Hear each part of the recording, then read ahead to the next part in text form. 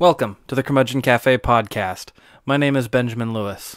This week's interview is with Tye Steinbach. He's co owner with his wife of Thinker Toys in Multnomah Village in Portland, Oregon. I hope you enjoy this interview with Tye Steinbach. My name's Tye Steinbach. I am the co-owner with my wife of Thinker Toys, an independent retail business in Multnomah Village in southwest Portland.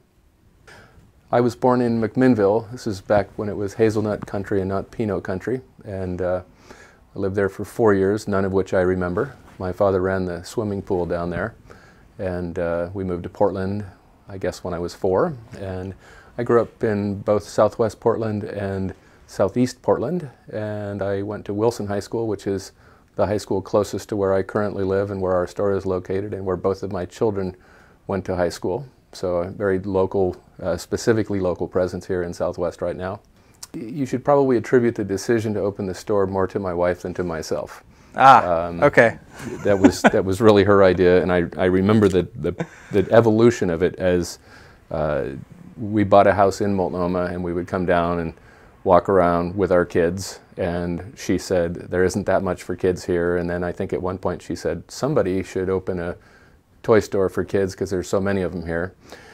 And I was fine with both of these observations, but then there was the, the moment at which that pivoted and became we should open a toy store. And we were both um, classroom middle school science teachers at that point in time. And I just thought we have no background in this, we have no business doing this. And um, anyway, but uh, we, we did move forward and, and uh, took that leap of faith, as it were, and uh, that, that was 20 years ago. So back to the question about toys. I actually don't remember that many toys growing up. I remember a few. Um, uh, I think if, if people were, were dog breeds, my family would probably be retrievers. Uh, we're very sporting, you know, throw a ball out there, I was always happy. So most of what I remember from childhood had to do with, uh, with playing games rather than playing with toys. I had a brief flirtation with chess and Parcheesi. I remember a Ferrari model car my dad gave me that I think was well beyond my fine motor skills at that point in time. Um, you know, a few toys here and there, but really I don't think that there was an abundance of toys in my, in my background. And I think that was also true of the culture generally. I think there's a lot more toys in circulation in kids' lives today than there were in the, in the 60s. Um, I taught high school for three years. I taught middle school for seven. Uh, before that, I worked in the Multnomah County Outdoor School program, which is a uh, it's a program that's been around for 40 years or so, where sixth grade kids go live in a camp setting. Back then, it was five nights. Now I think it's down to two, uh, and learn about nature, as it were. So, and that's where I met my wife.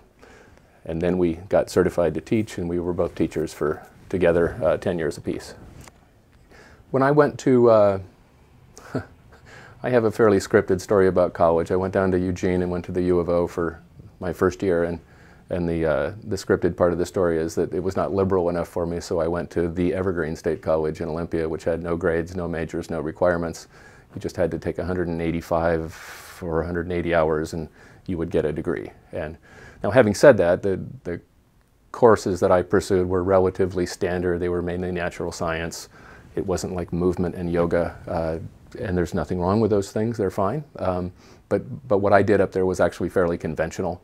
And so that was my, my interest, which was primarily in natural history at that point. Uh, sometimes I say it was birds, plants, and rocks. And uh, so that's what, you know, sort of interested me in uh, the science end of things. And I always liked interacting with kids. And, um, you know, as I said, my dad was a swimming teacher. So there was a little bit of that in the, in the family uh, role modeling and so it seemed like a natural match. Well, one thing interesting about the store is when we finally decided to start it, we ended up in a space that was 330 square feet. We're talking, you know, sort of shoebox size, uh, large closet, and um, size of a bedroom. And we had a month-to-month agreement. We just had a handshake. There was no contract. Uh, I still remember Mark when we talked about uh, leasing it. He said, you know, he said we could write a contract up, but what's what's the point? He says I'm going to what suck the last ten bucks out of your bank account or something. Let's just let's just do this this way and see if it works for you. And if it does, uh, great. And if it doesn't, no no harm, no foul. So Uh, and then we sequentially grew the business. We've actually been in three different locations in Multnomah Village. We went from 330 to 660 to 1,200 square feet. And then, um, so I guess technically it would be four different locations. And then we bought the building that we're in in 2000, and that building is about 4,000 square feet with the same amount additionally in storage in the basement. So it's a fairly large uh, independent toy store. It's a very big toy store. Yeah, well, it's big. It's it's big enough. Keeps us busy. We had a brief period where we opened an, a second store. This is our delusions of grandeur phase, I guess, and uh, we had that store in southeast Portland, in Westmoreland, Sellwood Moreland area, for a little over three years, and. Uh, that was an interesting experiment. We, we didn't ever lose any money, but it seemed like the only thing that was really growing uh, was the rent, not the sales. And, and then when we bought this building, given that we can get to that space without uh, pedaling on a bicycle, for example, from our house, it was just kind of a no-brainer to stop having two stores, have one. It was bigger than the two stores we used to have put together, and so we've been in that one location ever since, and that's been 15 years. We did, um, Joan took a class through PCC, and it was a one day, but you know, six hour class. So it was fairly intensive. And the, I think the main value of that was that it gave her a worksheet that she could use. And from that, we, we took that and then developed a, uh, not super complex, but at least we had a business plan. And I think a lot of, I'm guessing a lot of these really small independent businesses like ours, and for example, retail, they're, they maybe didn't do that kind of homework and, and uh, are surprised at some of the different issues. Like it's really helpful to know, for example, what your break-even point is. You know, it's like I have to sell this much of something each day to pay the rent, and uh, not even considering, for example, paying yourselves. Um, so, and then we we got all of our shipments initially at our house because we hadn't we occupied this, the premises yet. So we were ordering this stuff, and it would come, and it was kind of like Christmas every every time we'd get a box. We'd never done it before. Now it's sometimes a, a bit of a burden, uh, especially when you're getting like two pallets of toys, which we do on occasion on the same day, and and then you you know you're going to spend two days down there in the basement just receiving the the merchandise. So, but in the early days, it was it was all just fun opening those boxes. Hey, look at this! Isn't this great? that sounds like a blast. It was fun. Okay. And it's you know it still is fun. Um, one thing I would I would say about that that space is, uh, and I'm talking about the space as a uh, as an ecosystem, as it were. It's filled with not only good toys, but really great people, both from the employee end and from the customer end. I mean, they're interesting, bright, educated, articulate uh, caring people. You know, the parents care for their kids, our employees care for the customers, and you know, it works. Uh, it's a great synergism, I think. Sounds like a great environment for. It is, yeah. Most people, we have people who've worked there for over 10 years. There have been a lot of customers who have become friends of ours, socially as well as just through the store, and uh, I think that's great. And the same is true of employees, where we've got employees who are very close friends and who we do things with. As a matter of fact, if you go back to our first lease, um, we actually not only became good friends, but even vacationed with the people who we rented that space from. And, and we're still good friends with them. As a matter of fact, she called my wife to see if she wanted to play tennis with her this week. So we, we'd made as big a deal as we could make out of our 20th uh, birthday celebration weekend. And so we took this weekend that was um, celebrating our 20th, and we had uh, my friend Tom Sims, who owns Sasquatch Brewery there, on Friday night, which also coincided with First Friday in the Village, which is one of those deals where everybody stays open late, and um, and that was fun. This was in November of 2014, and I think if you give away beer, you're going to get a few people to show up, whether it's your 20th birthday or not. And I mean, there was a point. I think we had 300 people in the store, perhaps. Um, and then the next day, we had uh, uh, Red Yarn, who is a local folk uh, singer songwriter, uh, very talented guy, and a super nice guy. And he came and he did a performance for probably 60, 80 kids and their parents who were standing around. We crammed them all in the store and uh, high energy, a lot of fun. And then the, that same day later, we had a uh, we had the model for Elsa from the movie Frozen, and Frozen this year has been this massively popular. I guess the term is brand. Um, and so there were a, a, lot of a lot of kids, particularly young girls, who came to meet and have photographs with uh, this Disney print. I have noticed a difference in, in 20 years where there's become more emphasis on, on branding and on licensing. We were back in New York at Toy Fair, which is this annual um, international toy fair where, as merchants, uh, we can go and look at new product lines and stuff. And we've been there probably four times in the last 15 years. And it seemed obvious to me that there's much more emphasis on, on licensing this time around. I'm not a big fan of that personally. I, I tend to incline toward the more open-ended, less branded, more creative, as I see it, toys rather than the ones that are specifically focused on uh, making a particular item or, in particular, a, a, particular item that is linked to, say, a movie. Uh, but that's the direction the culture is going, and we're mm-hmm. part of that, and we don't boycott it. We, we do sell some of that stuff, but we try to find alternatives when we can. People think of Playmobil and Lego sometimes side by side, and they're technically a little bit different. Uh, Playmobil is more of an imagination toy and less of a construction toy. And Lego, I have certainly seen move more toward the uh, build a particular thing rather than here's a vat of classic bricks, make whatever you can. Mm-hmm. I actually remember I remember this guy who lived in Southwest Portland. I think his name was Scott. We were on the swim team together, and he had the only set of Legos that I remember playing with as a kid. And I remember being fascinated by them. They had the little windows and the doors, and you could make houses. I don't think I knew they were even called Legos, but he had this cool building thing, and uh, and that was great fun. Lego is apparently the world's most successful brand or the most powerful brand. Replaced Ferrari last year oh, wow. as that designate, designee. Um, and uh, you know, so they're doing something right. They're very, very powerful, very successful. One of their reps actually joked that they have a guy in the uh, delivery room implanting the uh, the device that uh, makes the kids crave the product as they, as they get older. Well, you would certainly hope so. I mean, that's one of the main reasons you go into that field. Um, yeah. I had a couple these aren't stories from the past as much as from the present, but I have two that come to mind just from this year. Uh, one is that the first group of kids who I taught when they were freshmen in high school had their 25th high school reunion this summer. And it was, the school was here in Portland, and so they had the reunion here. And I went to that, and my wife went as well. And we were also, this is a residential boarding school, um, so we were dorm parents, so we got to know these kids on a variety of levels. And, um, but it was great talking to so many of them and you know hearing some very positive things about how they had appreciated the class or the classes and um, so that, you know as a as, as somebody who went into teaching with the idea of trying to help people and make an impact that was good to hear. Uh, and you know and it's also just fascinating to see these people grow into their adult lives and uh, hear their stories you know see what they're doing. Um, and uh, so very very uh, rewarding from that perspective. The second story, it just happened, I think, a week ago about where there was a woman who came into the store who told me how much uh, she and her son, who now works, I don't remember where he works, I'm sorry, but he's a practicing scientist, and I think he works in a lab at a university in California, I'm not sure.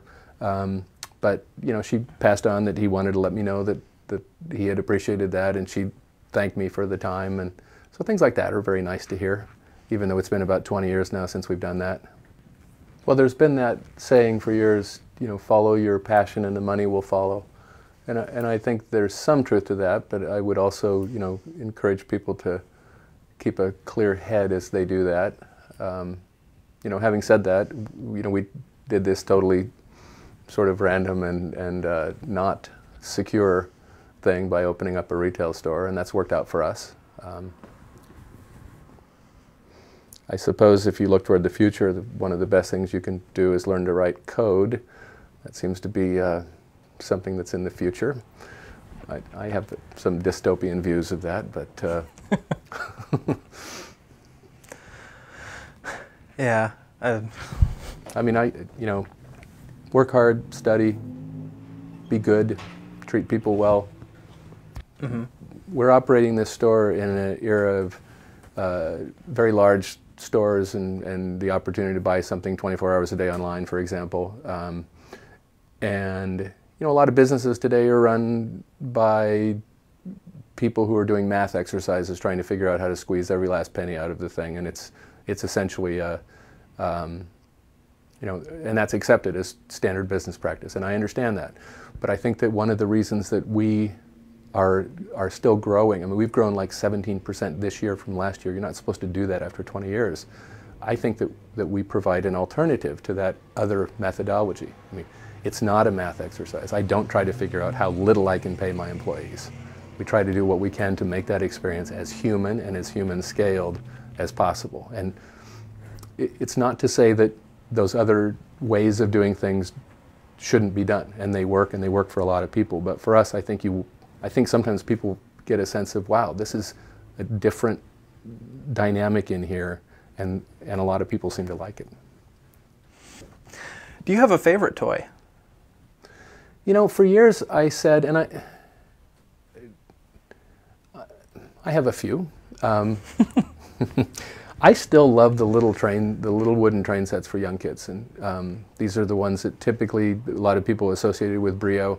Um, just like the Lego classic brick has gone into public domain, and so there you will find knockoffs of the of Lego. You will also find uh, there's a bunch of companies now that make the little wooden train sets, and they all pretty much have the same male-female connection, so you can make them, you know, in whatever configuration you want. But I love the train set because when a kid is very young, it's it's a storyboard for for narration. Kid has a story in his mind. Maybe he or she verbalizes it. Maybe they don't. But they're pushing this. There's some fine motor coordination stuff going on. But at the same point, I think there's this rich imagination thing happening. But then when they get a little bit older, they get to be four or five, then it becomes almost a construction toy, and they can throw in bridges and tunnels, and uh, you know, so they can add some some depth to this thing. And so for those reasons, I love that toy. It has unfortunately, in my estimation, become a little less popular.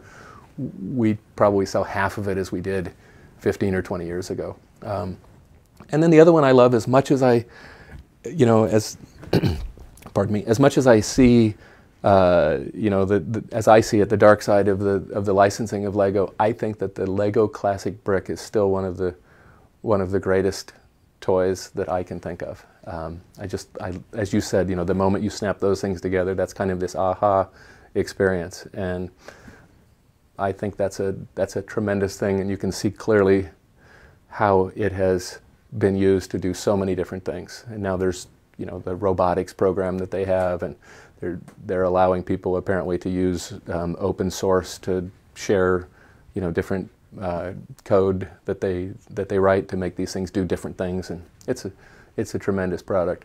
A third that I would say that I like, having mentioned a couple that are stereotypically uh, more of the male toys, is there's a company called Klutz or Klutz Press. They started in San Francisco selling juggling balls on the streets, and now they're a multi-million dollar uh, arm of a company called Scholastic, and they make some of the very best uh, craft kits uh, that that we see, and they're tremendously uh, clearly, uh, the instructions are very clear, the product is great, and kids love to make the things that, that Klutz has in those kits. What kind of things do they have? They have, um, they have things that often incline toward girls, although there are exceptions to that, like the Captain Underpants book. Um, they have an encyclopedia of immaturity, which gives you ideas of things to do that are just sort of off the wall and fun. But I think that the, I think their wheelhouse, as it were, is a lot of like jewelry, um, making cards, uh, drawing. It's, it's, it's a lot of sort of craft-based things using really high quality uh, materials, make a scarf, window art. Uh, hmm. they, they, cover a, a large range of, of different things counting dragon and damselflies in marshes in eastern Washington. And it was part of a yellow-headed blackbird study, and I had to get up every morning before dawn to be out there tilting these hardware cloth wire mesh traps up and then grabbing all these bugs out of them and identifying them both to um, species and gender, which I, I think about that now and it was insane, but I, I was very good about, you know, discriminating between a, um, Ischnura perparva and an Enallagma uh, carunculatum, for example, a couple species of, uh, of damselflies. But uh, so I did that for a couple months, and I think my waders by the end my waders were leaking, and they would fill up with water. And I, would, I remember laying on the on my back and putting my legs in the air just to get these things to drain, and then I'd go do the next trap. It was it was crazy. It was a bunch of young guys, and um, we had a lot of fun. Uh, not the kind of thing most people do.